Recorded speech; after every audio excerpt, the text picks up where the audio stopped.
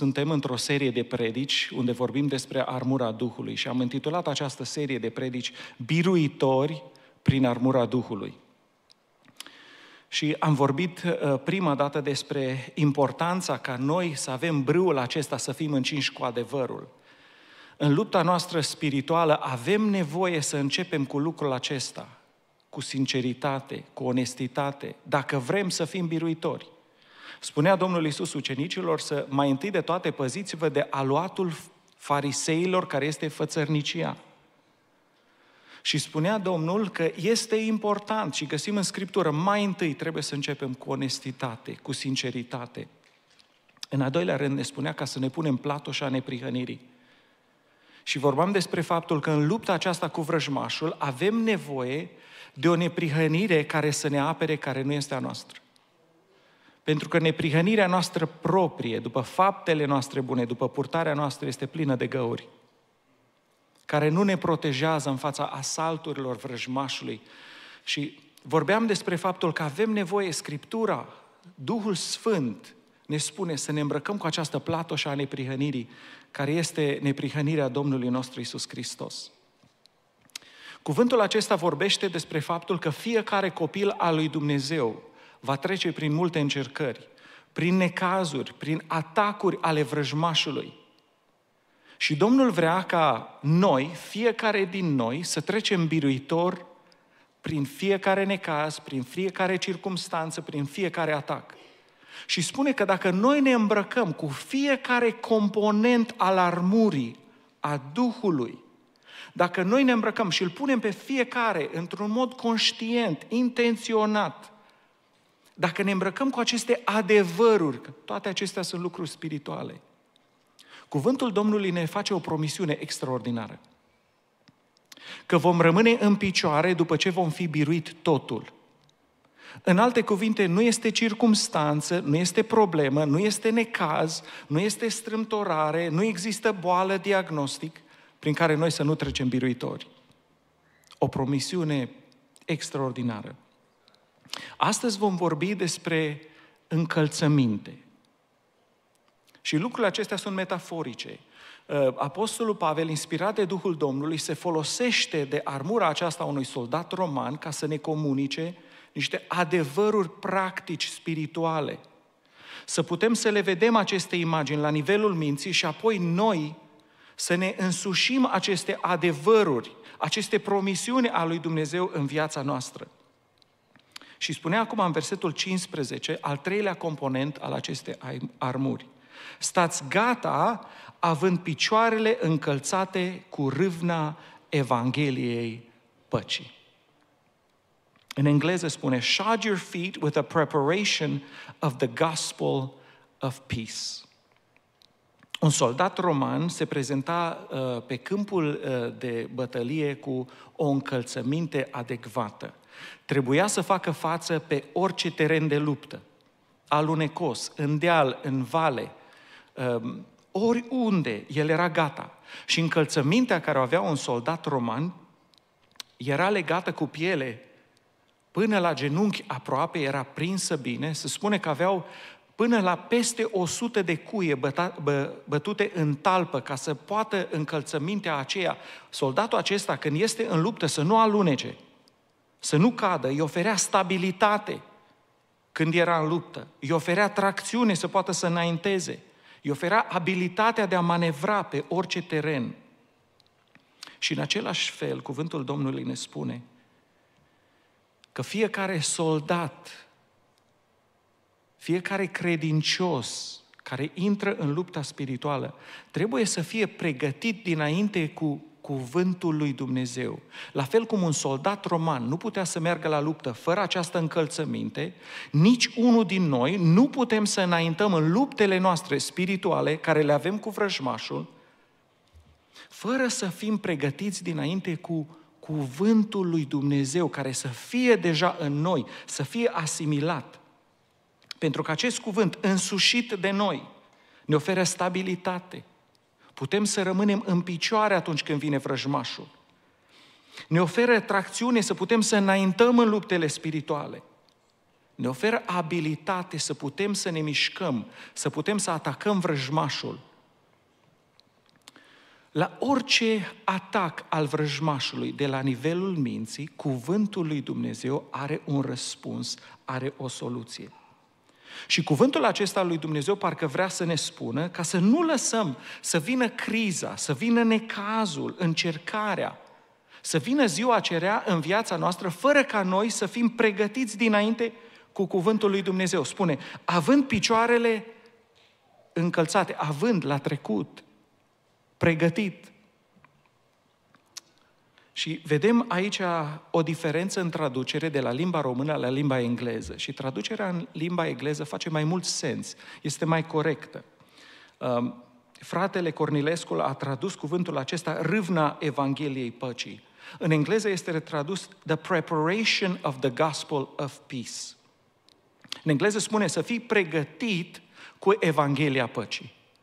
Și râvnă, ai nevoie de o râvnă să te pregătești. Este, vorbește despre o pregătire dinainte, de o anticipare, de ceva care este preventiv. Și spune aici, să fim încălțați, având picioarele încălțate cu râvna Evangheliei păcii. Ce face cuvântul acesta al lui Dumnezeu când este asimilat de fiecare din noi? Evanghelia aceasta, în primul rând, ne aduce pace cu Dumnezeu. Dacă noi avem cuvântul lui Dumnezeu în viața noastră, dacă suntem înarmați cu adevărul, primul lucru care îl face adevărul în viața noastră realizăm. Noi avem pace cu Dumnezeu. Dumnezeu a rezolvat problema păcatului nostru care ne despărțea de Dumnezeu. Avem sângele lui Hristos care ne-a acoperit. Suntem îmbrăcați cu neprihănirea lui Hristos, cu platoșa aceea despre care vorbeam mesajul trecut.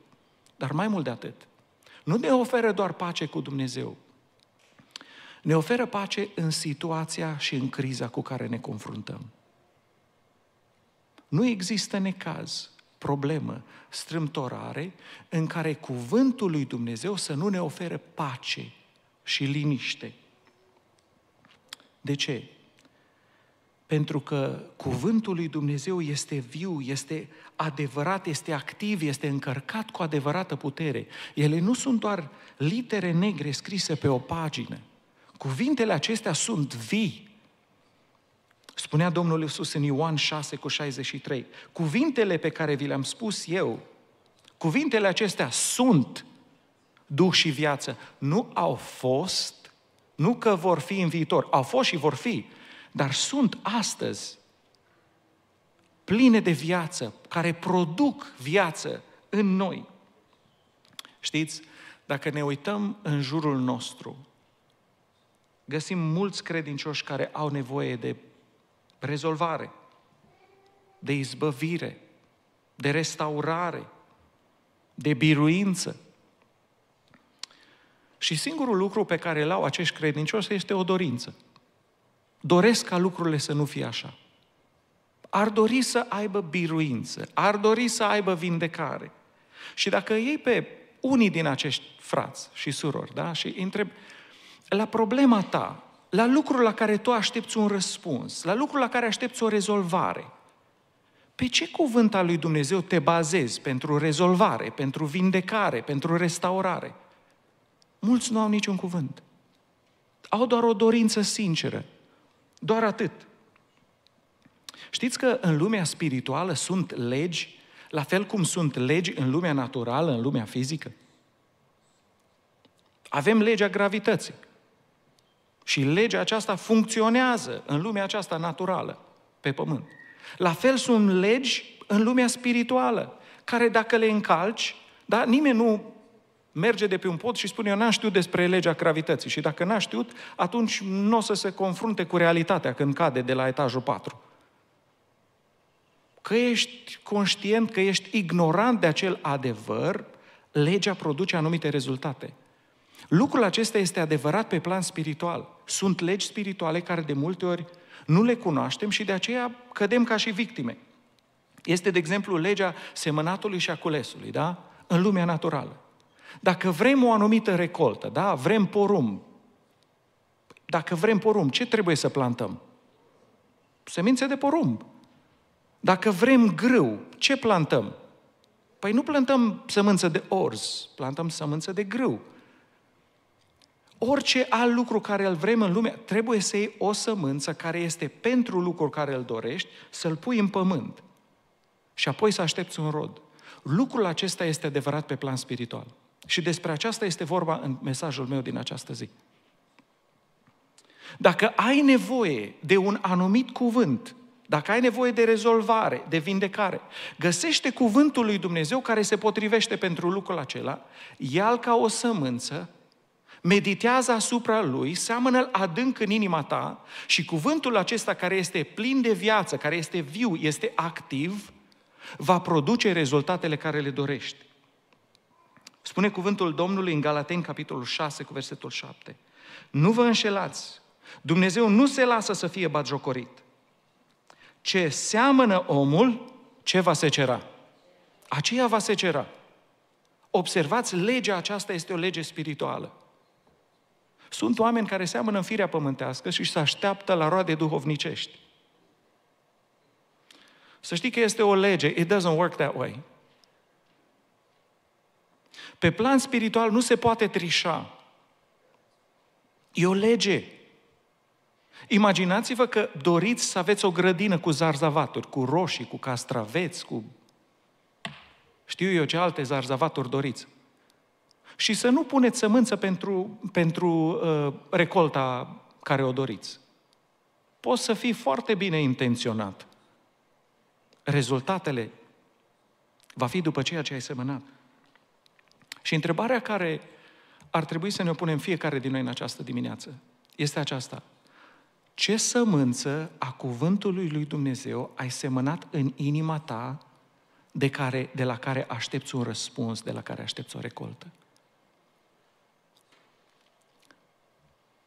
Pentru că dacă vrei rezultate, dacă vrem rezultate, avem nevoie de cuvinte. Sămânța aceasta conține duh și viață. Știți că Domnul a lăsat în Scriptura aceasta provizii, sămânță, dacă vreți, pentru fiecare nevoie care am putea avea noi aici pe pământ.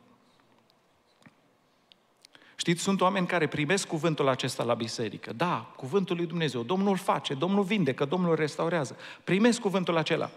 Și dacă până mâine dimineața nu au răspuns, știți ce spun? It didn't work. N-a lucrat. Nu lucrează. Și răspunsul acesta este tot atât de ridicol cum ați pune sămânța în grădină pentru zarzavaturi și mâine dimineață să fiți dezamăgiți că n-a ieșit nimic, că nu ați cules roșii, că n-a ieșit zarzavaturi. Există un element de timp la care trebuie să medităm la cuvântul lui Dumnezeu. Cuvântul acela să fie înrădăcinat în inima noastră, să devină adevăr înăuntru, where I know that I know that I know, unde sunt convins de acel cuvânt, îl cred. Și acel cuvânt va da rod. Știți, sunt credincioși care cred cuvântul lui Dumnezeu, cred promisiunile din Scriptură, dar au un dubiu. Și se întreabă, cred că Domnul are promisiuni pentru fiecare situație, pentru fiecare criză, fiecare circunstanță, dar nu sunt sigur dacă adevărul ăsta este pentru mine, dacă Domnul vrea promisiunea aceasta să o am eu. 2 Corinteni, capitolul 1, cu versetul 20, ne dă un răspuns la această întrebare. Spune, în adevăr, făgăduințele lui Dumnezeu sau promisiunile lui care le găsim aici, oricâte ar fi ele, oricât de felurite ar fi, toate în el sunt da. Dacă noi venim la Domnul și întrebăm, Doamne, Am găsit promisiunea aceasta în Scriptură. Oare este promisiunea aceasta valabilă pentru mine? Răspunsul Domnului este da. Oricâte ar fi ele din Scriptură, toate sunt da.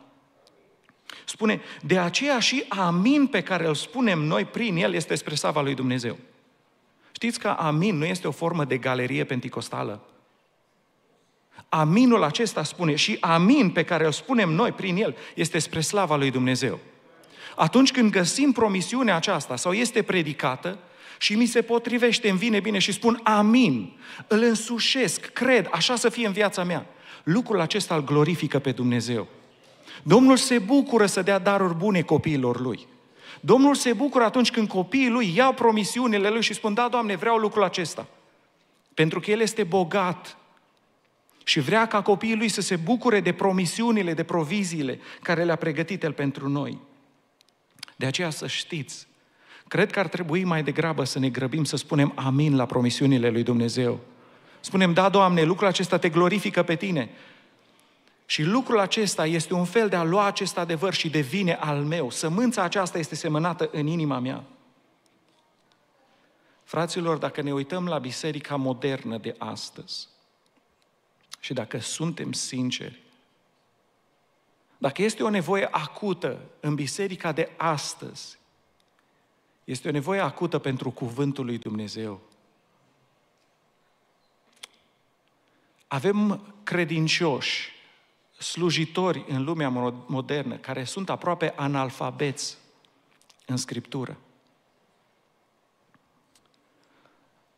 Săptămâna trecută, sau cu două săptămâni în urmă, nu mai aduc aminte exact, un frate păstor mi-a trimis un video de la un men's conference, de la o întâlnire de bărbați de la un mega church de aici din America, unde la programul de deschidere s-a pus un stâlp acolo mare în față. A venit un bărbat care pe jumătate total dezbrăcat și într-un mod artistic, aceasta au fost deschiderile la această conferință. Lucru care se găsesc la barurile de sodomiți a fost pe scena bisericii. A doua zi, unul din frații invitați, păstori, a fost acolo și a spus ceea ce s-a întâmplat la întâlnire a fost uh, spirit uh, uh, demonic al Izabelei. Și a spus că v-ați închinat aici, pe stâlpul acesta s-a ridicat ca pe stâlpul astarteilor din trecut. Știți ce a spus păstorul acelei conferințe? I-a, i-a cerut păstorul care era pe scenă și a zis lucrul acesta să dea jos de pe scenă. Cum poate o societate, o biserică modernă să ajungă la astfel de lucruri și să numească astfel de lucruri în biserică? Știți ce s-a întâmplat, fraților? Nimeni nu s-a mai încălțat cu această Evanghelie. Se vorbește oamenilor ca să le gâdele urechile, să le spună. Văd tot mai mult programe acum care... Eu întotdeauna m-am văzut un om deschis, dar dacă mergi la o muzică unde nu te mai auzi nici ce gândești, atâta de tare să dă volumul. Să nu mai fie o conștiință undeva unde Duhul Domnului să poată să-ți mai spună ceva. O rebeliune totală împotriva cuvântului. Nu mai contează ce spune cuvântul. Și noi spunem, sunt frații noștri. Fraților, cuvântul acesta al lui Dumnezeu are nevoie de o inimă, de un lut bun al inimii noastre. Cuvântul acesta să medităm asupra lui. Spune Scriptura, poporul moare. De ce moare poporul? Din lipsă de cunoștință, nu mai cunosc cuvântul Domnului și merg spre pierzare. Și mă rog ca Duhul Domnului să trezească inimile noastre și mințile noastre. Să fim din nou sensibili Duhului lui Dumnezeu. a fi pregătit cu cuvântul lui Dumnezeu dinainte, la care l-am luat, am meditat, am spus aminul acesta în inima mea și cu gura mea și aștept acest adevăr, meditez asupra lui. Aceasta înseamnă să fiu încălțat cu Evanghelia aceasta a păcii care produce pace. Știți, sunt anumite subiecte în viața noastră de care de cele mai multe ori suntem inconștienți dar atunci când ajungem la acele subiecte, în gândul nostru, în mintea noastră, unde sunt luptele spirituale, subiectele acestea ne produc o stare de frică, de anxietate, de depresie, de multe ori, de îngrijorare. Și atunci când abordăm acele subiecte în mintea noastră, de multe ori alunecăm emoțional și spiritual. Și de multe ori ne trezim cu tot felul de răni, emoționale, interioare. Fraților, dacă avem astfel de experiențe, lucrul acesta este o dovadă că la acel subiect la care noi am alunecat, noi nu avem cuvântul lui Dumnezeu în inima noastră. Pentru că dacă am avea acest cuvânt, această încălțăminte, n-am alunecat. Am putea să ținem piept vrăjmașului și să ieșim biruitor în totul. Și noi toți avem astfel de subiecte. Și aceasta este o dovadă că noi nu avem adevărul sădit adânc în inima noastră. Și ar trebui să fie un red flag. Unde se spună, aici eu am nevoie de cuvântul lui Dumnezeu, la subiectul acesta. Și la fiecare este diferit. Pentru unii din dumneavoastră este sănătate, pentru alții sunt copii, pentru alții situații financiare sau știu eu ce, frici și anxietăți, că diavolul vine într-o mie de feluri să ne atace pe fiecare din noi. Și dacă avem opinia lui Dumnezeu la acel subiect și nu avem rezultatele care le dorim, înseamnă că avem acel subiect, sămânța acelui cuvânt doar la nivelul minții. Cuvântul acela încă n-a ajuns de la mintea noastră în inima noastră să fie adevăr, ca să poți să țin piept vrăjmașului. Adevărul, fraților, să știți, întotdeauna ne face liberi. Adevărul întotdeauna ne dă pace și ne dă liniște. Unde este Duhul Domnului, este libertate, este pace, este liniște. Problema este de multe ori nu suntem convinși că adevărul acela este, din cuvânt, este valabil în situația noastră. Aș vrea în această dimineață, în timpul care a rămas, să ne uităm la cuvântul lui Dumnezeu.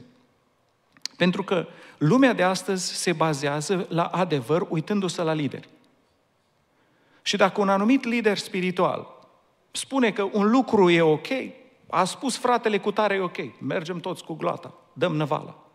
Mi-aduc aminte, am văzut un interviu uh, de-a lui uh, mare el evanghelist, uh, îmi scapă numele lui acum, din Charlotte. Um, și avea un interviu aici la Catedrala de Cristal. Billy Graham. Și Schuller l-a întrebat ce crede despre mântuire.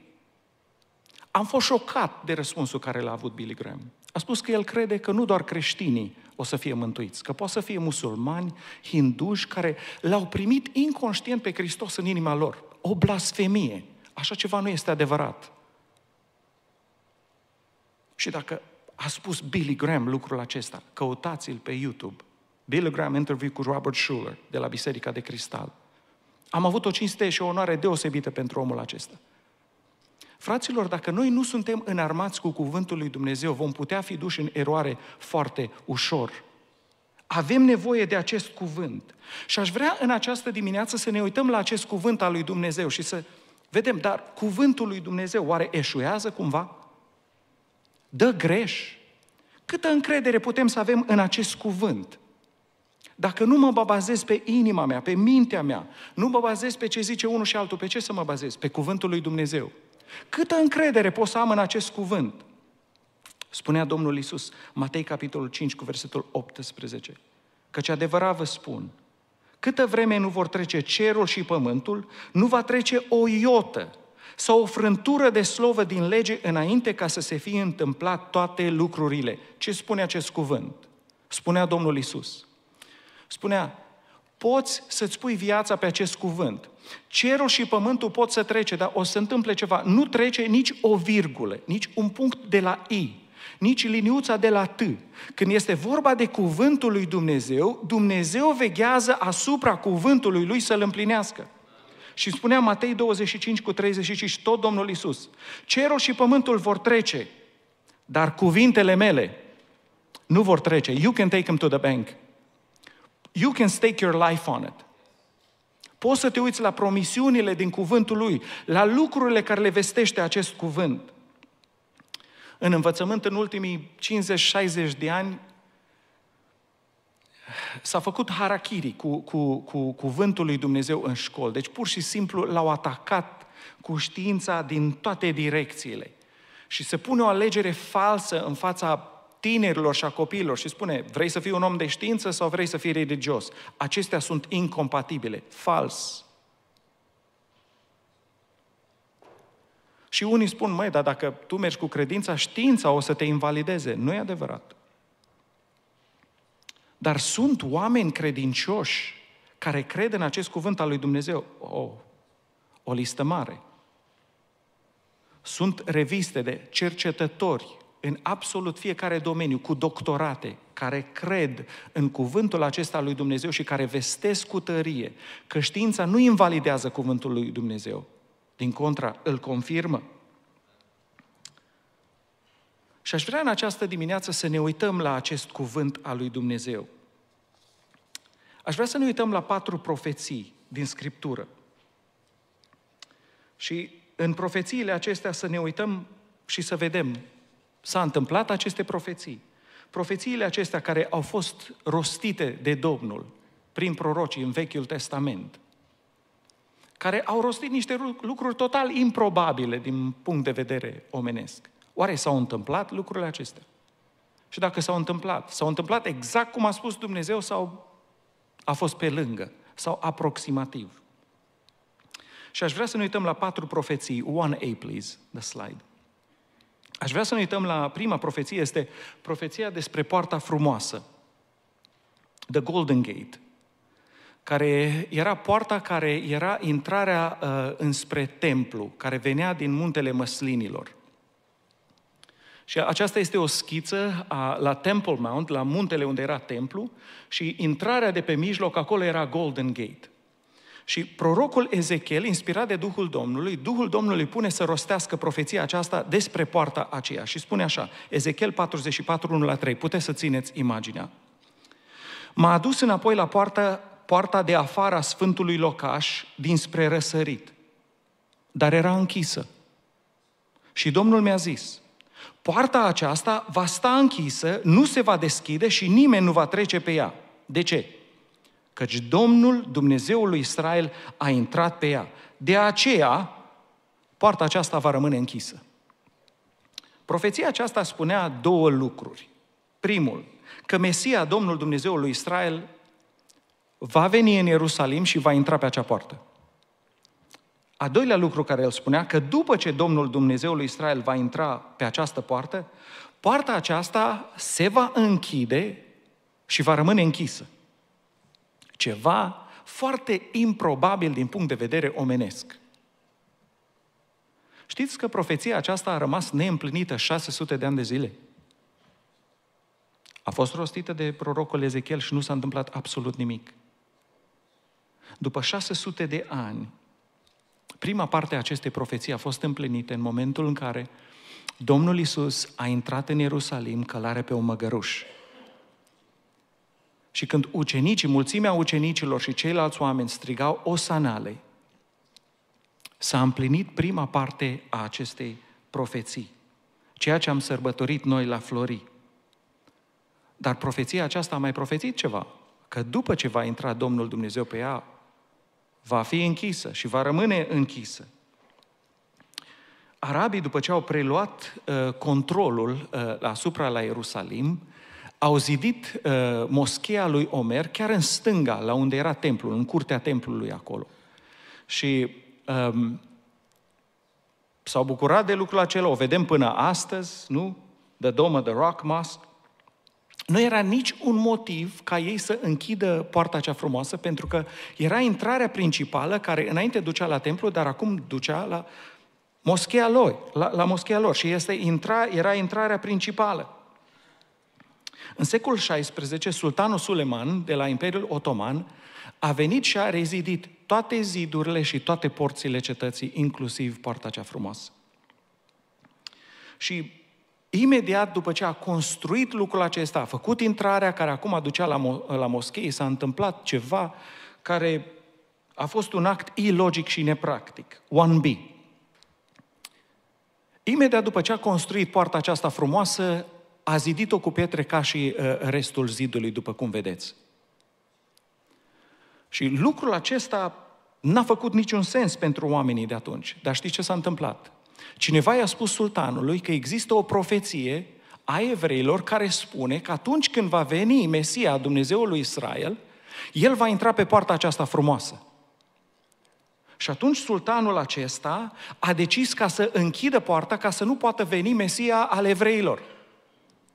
Și a zidit poarta aceasta așa cum o vedeți acolo și pentru că știa că Sfinții lui Israel nu pot să treacă printr-un cimitir pentru că s-ar spurca, a pus un cimitir acolo de morminte de ale musulmanilor, că dacă cumva ar sparge intrarea la poartă, să nu poată să vină că s-ar spurca pentru că trece prin morminte. Ceea ce nu știa sultanul acesta este că Mesia, Dumnezeul Sfântului Israel, intrase pe acea poartă cu 16 secole mai înainte. Ceea ce nu știa el, că atunci când merge el pe undeva, morții iasă din morminte și el nu se poate spurca. Ceea ce nu știa sultanul era că prin actul lui, el de fapt împlinea o profeție care acum avea 2000 de ani când a împlinit-o. Vă întreb, veghează Dumnezeu asupra cuvântului său ca să-l împlinească? Pierde Domnul vreun detaliu de la cuvântul lui? Spunea, poarta aceasta va sta închisă, nu se va deschide și nimeni nu va trece pe ea, ca și semn căci Domnul Dumnezeul lui Israel a intrat pe ea, de aceea va rămâne închisă. Poarta aceasta închisă este un semn pentru evrei și pentru noi toți că Mesia a intrat deja pe acea poartă.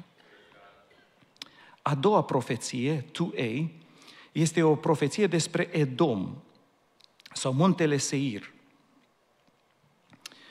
Și aici Domnul rostește o profeție. Este Petra de astăzi, care astăzi o numim Petra din Iordania, unde spune uh, cuvântul Domnului, Isaia a rostit o profeție împotriva lui și spune în versetul 5, Isaia 34 cu versetul 5, că sabia mea, zice Domnul, s-a îmbătat în ceruri. Iată, se va coborâ asupra Edomului, asupra poporului pe care l-am sortit nimicirii ca să-l pedepsesc. Versetul 11. Ci pelicanul și ariciul îl vor stăpâni, bufnița și corbul îl vor locui. Se va întinde peste el funea pustirii și cumpăna nimicirii. Nu vor mai fi în el fruntași ca să aleagă un împărat și toți voivozii lui vor fi nimiciți. În casele lui împărătești vor crește spinii în cetățuile lui mărăcini și urzici. Acolo va fi locuința șacalilor și vizuina struților. Petra se află cam la 100 de maile în sud uh, de Ierusalim. În vechime, poporul de acolo, Edomul, Um, a ajuns foarte bogat pentru că tot comerțul uh, dintre est și vest trecea pe la ei. Tot comerțul din Arabia, produsele care mergeau spre Grecia și spre Roma, treceau pe la ei și ei puteau să taxeze. Tot ce venea din vest, din Italia, din Grecia și mergea spre Arabia, trecea pe la ei. Și poporul acesta a ajuns foarte bogat. Ingineria care uh, au avut-o acolo este ceva extraordinar. Am văzut un documentar unde au adus apă de la zeci de maile printr-un canal, care era calculat la un pitch perfect. Dacă era prea tare, ar fi spart țevile. Dacă nu era destul, nu mai ajungea apa. Fără computere, fără lasere. Baraje de a ține apă. Au ajuns foarte, foarte bogați, au săpat palate, to B and to C, și temple impresionante în piatră în locul acela. Au săpat un anfiteatru întreg, 2D, din piatră. Au mutat mii de tone de piatră, atâta erau de puternici. Și cuvântul Domnului a venit împotriva lor și a zis că va fi pustit tot locul acesta. Dar lucrul acesta era improbabil din punct de vedere omenesc. 2E.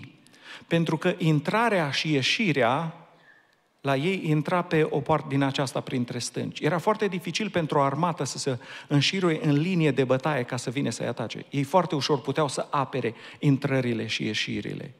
Se credeau foarte siguri. Și Domnul a spus că ei vor fi pustiți dar Domnul împlinește cuvântul Lui. A făcut să se deschidă o altă rută de, co- de comerț care ocolea Edomul.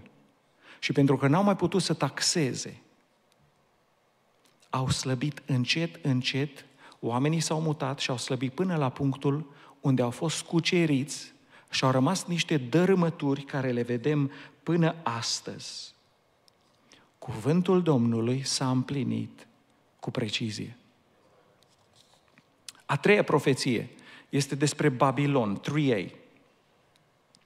Babilonul a experimentat o creștere foarte rapidă în putere, în bogăție, în frumusețe, avea grădini suspendate, ceva, un fenomen extraordinar pentru lumea de atunci. Aveau apă, trecea Eufratul prin mijlocul Babilonului. Au construit ziduri atât de puternice. Aveau două seturi de ziduri. Se spune că, spun istoricii, puteau carele lor de război să fie câteva în linie și să meargă pe zid. Aveau două astfel de ziduri. Din punct de vedere omenesc, era imposibil de cucerit. Și cuvântul Domnului a venit împotriva Babilonului, Ieremia, capitolul 25, cu versetul 12, care spunea, dar când se vor împlini acești 70 de ani, voi pedepsi pe împăratul Babilonului și pe neamul acesta, zice Domnul, pentru nelegiuirile lor. Voi pedepsi țara haldeilor și o voi preface în niște dărâmături veșnice. Voi aduce peste țara aceea toate lucrurile pe care le-am vestit despre ea, tot ce este scris în cartea aceasta. Au trecut mulți ani de zile și din nou profeția părea că nu se împlinește. Pentru jumătate de secol, Babilonul a continuat să domnească ca și împărăteasa cetăților a lumii civilizate. 3B. Și dacă venea vreun popor cumva ca să cucerească, pur și simplu știți ce făceau? Declarau sărbătoare și făceau party. Pentru că știau, n-aveau nicio șansă oamenii să vină din afară. Dar într-o noapte, în anul 539 înainte de Hristos, când ei petreceau, se îmbătau și trăiau în viața lor destrăbălată, s-a văzut degetele unei mâini care a început să scrie pe zid. Numărat, numărat, cântărit și împărțit. Și Dumnezeu a dat înțelepciune medopersanilor ca să sape un alt canal Eufratului și în noaptea aceea au spart digul. Și Eufratul s-a scurs pe altă parte și n-a mai trecut prin Babilon. Și în noaptea aceea, când Babilonul era plin de beție, medopersanii au intrat pe unde era Eufratul mai înainte, pe sub porțile care erau pe Eufrat. Au intrat în cetate, au trecut-o prin ascuțisul sabiei și au dărâmat cetatea. Până astăzi, 3C, aproape 2500 de ani, acestea sunt ruinile Babilonului. De la terasele lor, grădinile lor suspendate, zidul lor dublu, bogățiile lor. Cuvântul lui Dumnezeu, din nou, s-a împlinit până la ultimul detaliu. A patra profeție, 4a. Această profeție a fost despre cetatea Tir, o cetate de pe coasta Mării Mediterane, care astăzi prezent este în Liban. O cetate și ea foarte prosperă și puternică la vremea ei. Erau marinari experți, aveau multe corăbii și făceau negoți în întreaga lume. Și prin negoțul acesta au adunat multe bogății și putere. Și atunci când Ierusalimul a fost dărâmat, Tirul s-a bucurat de dărâmarea Ierusalimului și a zis, o să fim mai bogați. Și a venit cuvântul Domnului, a vorbit prin prorocul Ezechiel, Ezechiel 26, începând cu versetul 1. Și aceasta este profeția. În alul al 11-lea, în ziua întâi a lunii, cuvântul Domnului mi-a vorbit astfel. Fiul omului, pentru că tirul a zis despre Ierusalim, ha, ha, este zdrobită poarta popoarelor, adică e zdrobit Ierusalimul. Și se întoarce la mine, mă voi îmbogăți, căci el a rămas pustiu. De aceea așa vorbește Domnul Dumnezeu. Iată că am necaz pe tine, tirule, și voi aduce împotriva ta multe neamuri, cum își ridică marea valurile. Ele vor dărâma zidurile tirului, îi voi surpa turnurile, îi voi răzui și țărâna o voi face o stâncă goală. Va rămâne în mare ca un loc unde se vor întinde mreje de prins pește. Eu am vorbit, zice Domnul Dumnezeu. Va fi prada neamurilor. Cetățile din ținutul lui vor fi trecute prin sabie. Și vor ști astfel că eu sunt Domnul. Căci așa vorbește Domnul Dumnezeu. Iată că aduc de la miază noapte împotriva tirului pe Nebucadnețar, împăratul Babilonului, împăratul tuturor împăraților, cu cai, care, călăreți și cu o mare mulțime de popoare. El va nimici cu sabia cetățile din ținutul tău, va face șanțuri de apărare împotriva ta, va ridica întărituri și va ridica scutul împotriva ta. Va îndrepta loviturile berbecilor săi împotriva zidurilor tare și îți va surpa turnurile cu mașinile lui. Mulțimea cailor lui te va acoperi de praf. Zidurile tale se vor cutremura de vuietul călăreților, roților și carelor când va intra nebucadnețar pe porțile tale, cum se intră într-o cetate cucerită. Va călca toate ulițile tale cu copitele cailor lui și îți va ucide poporul cu sabia și stâlpii mândriei tale vor cădea la pământ. Îți vor ridica bogățiile, îți vor prăda mărfurile, îți vor surpa zidurile, îți vor dărâma casele tale cele plăcute și vor arunca în ape pietrele, lemnele și țărâna. Voi face să înceteze astfel glasul cântecelor tale și nu se va mai auzi sunetul harpelor tale. Te voi face o stâncă goală. Vei fi ca un loc în mare unde se vor întinde mrejile de prins pești și nu vei mai fi loc, zidit la loc, căci eu, Domnul, am vorbit, zice Domnul Dumnezeu. În anul 586 înainte de Hristos, după cum a rostit cuvântul lui Dumnezeu, Nebucadnețar a venit cu toate mașinăriile lui, a spart zidul cetății, a trecut prin ascuțișul sabiei toate cetățile din jur și a dărâmat uh, cu întregime, deci a făcut praf și pulbere de acolo. Dar s-a întâmplat ceva. Nu s-a împlinit partea aceasta a doua, că și voi arunca în ape pietrele, lemnele și țărâna ta și că te voi face o stâncă goală. S-a întâmplat ceva, 4B. Ei erau pregătiți într-un fel pentru un worst case scenario. Și era o insulă care era un pic mai departe de țărm acolo, pe care ei au întărit-o. Au făcut um, pe sub nivelul mării tot felul de, de stânci care le-au pus, care doar marinarii lor le cunoșteau. Și dacă vrea cineva să vină să-i cucerească, aveau nevoie de un marinar de-a lor ca să știe pe unde să meargă, să evite stâncele de sub apă. Și mulți din cei din cetate au fugit cu bogățiile lor uh, pe insula aceasta. Nebucadnețar a venit, a dărâmat cetatea veche, a nimicit și a tăiat mulți oameni, a ridicat multe bogății, dar nu toate. Și au trecut încă 240 de ani și se părea că omul lui Dumnezeu, prorocul lui Dumnezeu, a profețit doar pe jumătate corect.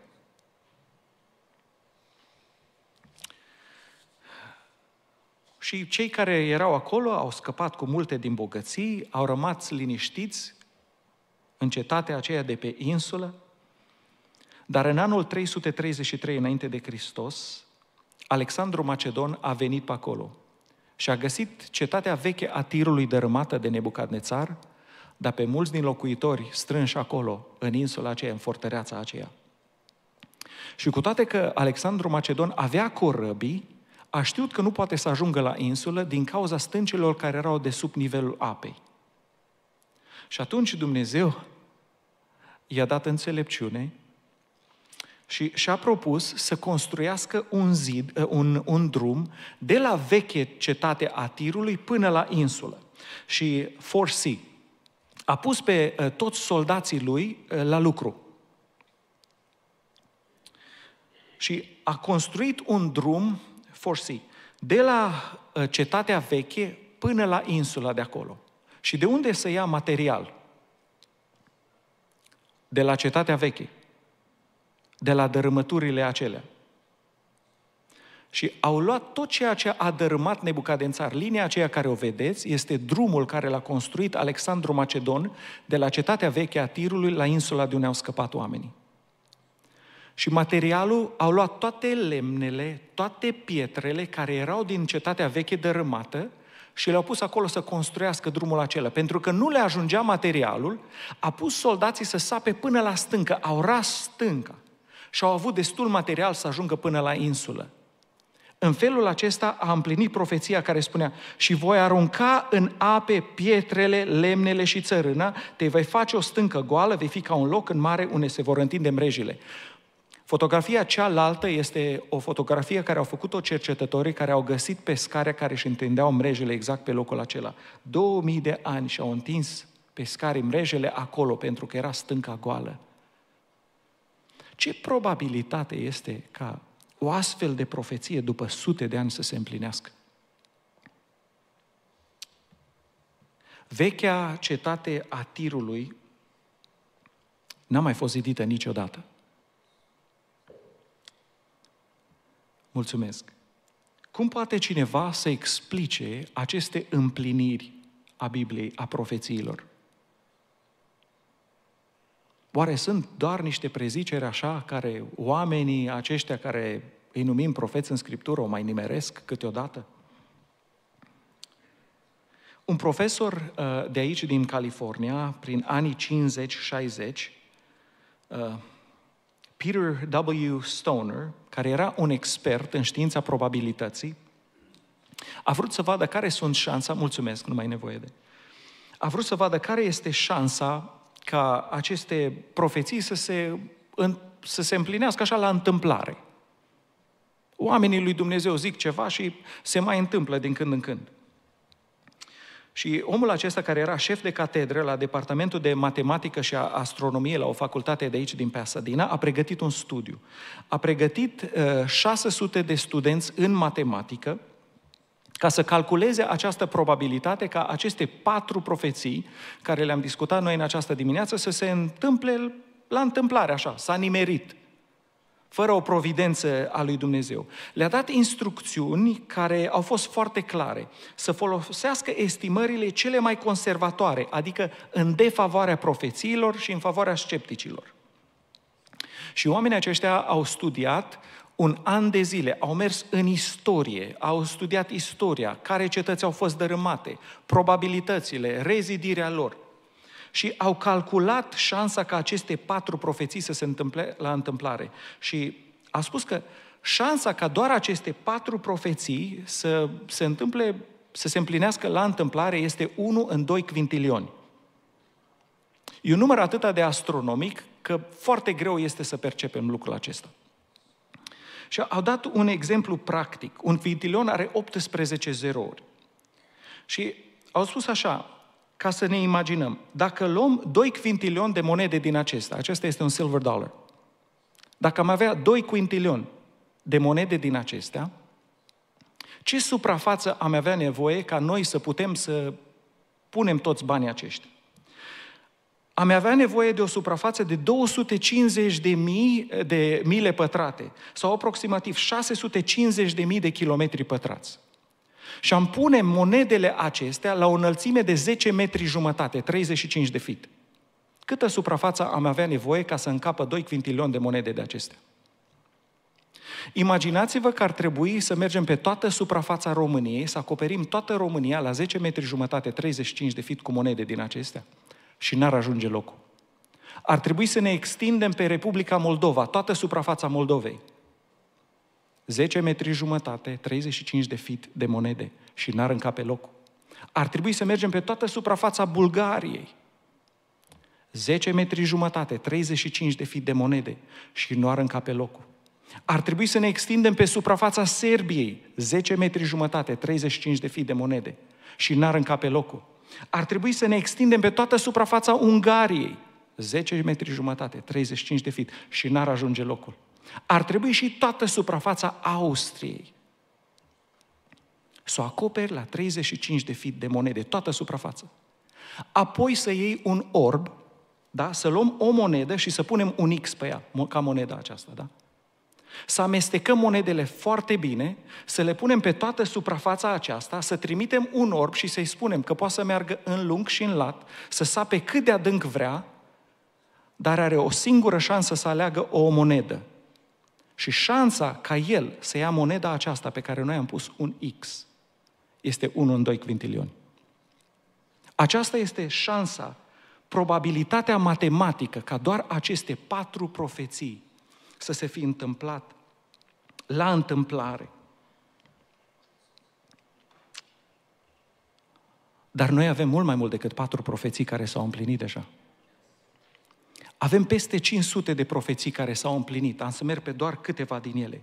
Profeția Domnului despre Ierusalim și despre templu, că nu va rămâne piatră pe piatră. Au venit romanii, au impresurat Ierusalimul, i-au dat foc. Când i-a dat foc, s-a dărâmat templul de acolo, în căldura aceea a ars tot aurul acela, s-a scurs printre dărâmături. Au venit soldații romani și au întors toate pietrele acelea ca să ajungă la aurul care s-a topit și s-a dus jos. Și a împlinit profeția că nu va rămâne piatră pe piatră, pentru că nu au cunoscut vremea când i-a cercetat Domnul. Ce facem cu profeția profetului Isaia, care a profețit răsticnirea Domnului Isus înainte ca metoda de răsticnire să fie inventată de romani? Ce facem cu profeția că curțile templului vor fi pângărite? Astăzi, moscheea lui Omar este pusă în curtea templului, este în stânga templului, unde era templul înainte. Profeția că Israel, după mii de ani, va deveni din nou o națiune într-o singură zi. Profeția aceasta s-a întâmplat pe 14 mai 1948, în timpul vieții la mulți din dumneavoastră de aici. Profeția că Israel nu va mai fi împărțit în două, în Iuda și celelalte seminții, că vor avea un singur lider, s-a întâmplat în timpul vieții la mulți din dumneavoastră de aici. Profeția că Israel va avea o limbă nouă, o ebraică modernă. Când am vizitat Ierusalimul, am fost în curtea evreului care a pus baza limbii ebraice care este vorbită astăzi în Ierusalim. Și lucrul acesta a fost profețit. Profeția că Israel va exporta fructe, ceea ce înainte era improbabil și imposibil pentru că s-ar fi stricat pe drum. Astăzi, cu avioanele, cu trenul, cu mijloacele acestea, exportă fructe în toată lumea. Profeția că vor țâșni izvoare în pustiu, am văzut documentar unde arată pozele de acum 60 de ani, locuri din pustiu care astăzi, în pustiul acela, a țâșnit izvoare și sunt oaze de apă care nu erau acolo mai dinainte. Profeția că Israel va deveni, că Ierusalimul va, va deveni mărul de ceartă al națiunilor. Lucrul acesta se întâmplă astăzi și am putea să tot continuăm. Șansa ca doar patru profeții să se întâmple la întâmplare este 1 în 2 quintilioni. Dar ce facem cu celelalte profeții? La fiecare 4-5 profeții trimitem orbul acela și de fiecare dată nimerește? Observați că ajungem la un nivel de absolut ridicol. Nu rămâne nicio îndoială că cuvântul lui Dumnezeu este viu, este adevărat, este sfânt. Nu există nicio îndoială că noi putem să luăm acest cuvânt în viața noastră, să ne clădim viața, să ne punem temelia vieții pe acest cuvânt. Fraților, scopul profețiilor biblice nu este doar să ne spune de scopul la ceva porți sau cetăți. Ne vorbește despre soarta noastră. Ne spune ce se va întâmpla atunci când noi luăm acest cuvânt în viața noastră. Și Domnul Iisus spunea că ce adevărat vă spun, câtă vreme nu vor trece cerul și pământul, nu va trece o iotă sau o frântură de slovă din lege, înainte ca să fi întâmplat toate lucrurile.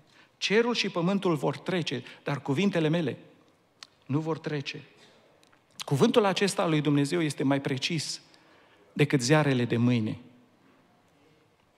Singurul lucru care va rămâne în picioare este acest cuvânt al lui Dumnezeu.